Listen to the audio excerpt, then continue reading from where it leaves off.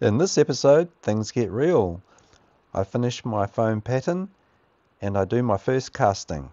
Welcome back guys. This bearing allows the mast to rotate incorporating some 5mm acetal rollers and some acetal balls that take the end load. This is a 3D view of the casting and it has some spigots there and it shows the sprue which will be cut off of course. I'm quite happy to be using some of the old packaging foam for some of this. I'm going to be gluing these blocks together with hot glue.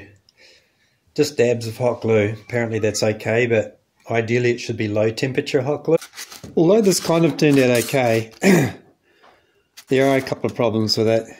This join that would concern me that the whole casting might be compromised because of that join. And I don't have the material to fill it. Apparently there's a low temperature wax you can use. Um, it's quite soft polystyrene. That allows, which is quite good in some ways. But I went to town and I bought a low temperature um, hot glue gun because my normal hot glue gun, when I put the hot glue between to make this join, although it's kind of worked, was really melting the material, melting the foam too much. I looked at some videos online at lunchtime and the trick is to use a low temperature hot glue gun. Well, we'll find out. I went to a local manufacturer of um, polystyrene and they gave me that big offcut. So we'll give that a go.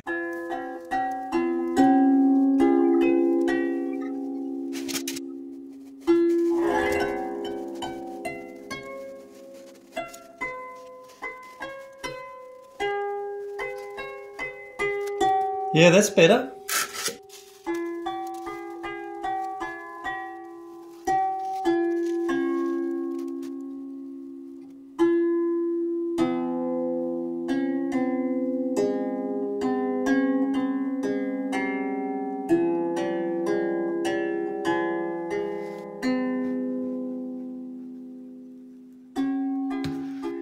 Theoretically, it's close to being finished.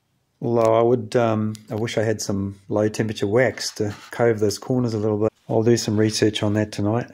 Okay guys, what I'm doing here is after completing the mould, it's um, a bit rough and ready, but all the faces pretty much will be machined, so I'm not too worried about that. I'm just coating it with a bit of um, drywall slurry um, that I've mixed up. And what this will hopefully do, my concern is that the um, sand inside here, this cavity, will, um, because it's just loose sand, as the metal runs around and burns off the foam, it might drop into that cavity. So um, I'm just doing this to prevent that. It's a bit of a precaution. It may be unnecessary, but um, there's so many things that can go wrong with um, this type of casting. And now, while that's drying off, that's probably all I need to put in there. Um, so I'll get the rest of the gear ready now while this dries off. Well, I did about four coatings, brushed on four coatings of um, the drywall mix. I'm pretty certain it's 100% dry. Everything's ready to go. I've just got to set this in the pot here and try and get make sure sand goes right through the hole. That's my only concern and that's one of the reasons I slurried the hole. I don't even expect to get a quarter of the way through that. Got some coal just to help with things a bit. Blower's good to go. I was thinking of modifying the furnace. Of course, as has been pointed out, ideally it would have refractory inside it, but that would make it a more complicated job for something I might only use once or twice. And I was thinking of blocking these holes and putting little V's here around the edge so that the flame had to go up past the crucible, not go out the holes without adding the last bit of heat into it. I've got three kgs of ingots ready to go. I expect that I'll need another quarter of this wheel. So chop around halfway down to halfway down. I'm going to use less than four by my calculations. I've got some pool filter sand. I might need it to get another bag. We'll see when we tip it in. But maybe I better get another bag as well, just in case.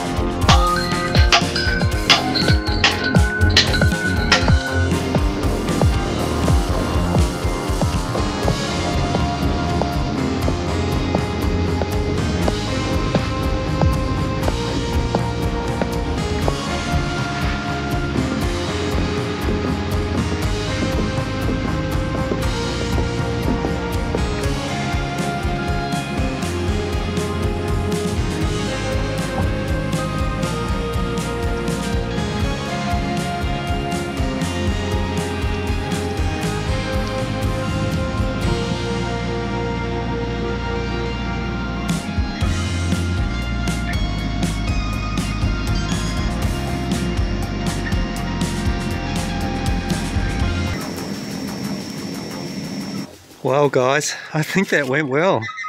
I had the fan roaring away. Apparently that's what you do because as you can saw you can get a puff of um, burning polystyrene popping out. It used up about the right amount. I did make some extra. Now we just wait. How long do we have to wait? Apparently like quarter of an hour or something. First time guys, this is the first time. I didn't realise that it was taking so long to melt because see that ledge inside the crucible there? Things were hanging up on there. It was molten within about half an hour, which is pretty good. But it wasn't going down and it wasn't going down. And then I realized it was hanging up. It was jammed. I think it's taken about an hour and a quarter. It would have been much quicker if it hadn't if that hadn't hung up because I was having to refuel it uh, about three quarters of the way through the port. The can sunk down a bit, everything sunk down.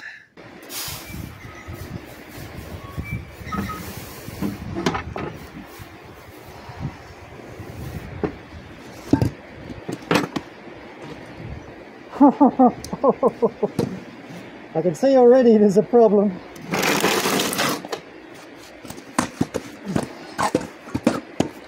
Houston, we have a problem.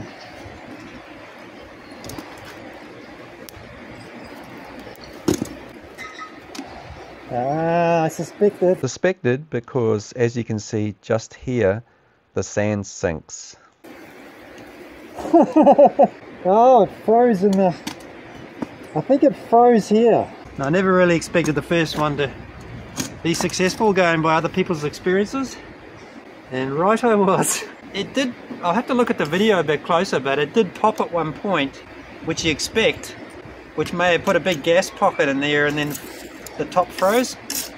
I'm, i might have to bite the bullet and buy a temperature gun, like an infrared temperature gun, and make sure the temperature's right before I pour it got to be, I think, 720 degrees. I think my sprue mightn't have been big enough. The can mightn't have been big enough. There's one or two people who follow my channel who know a lot more about casting than I do, so I'm hoping for their advice. Yeah, it froze up, I think. Temperature possibly wasn't hot enough. I think the sand collapsed right down to this surface here. And that sand in there didn't really seem to collapse, which I was expecting to be a problem if there was a problem. So it was a good opportunity today because the weather was good. I think it's going to rain tomorrow and the next day and the next day. So um, this video may go out before you see a finished result that I can machine up. So if you've made it through this far, thanks for watching. enjoyed it, give the channel a like and a subscribe if you haven't. We'll see you next time. It might not be so exciting, I hope.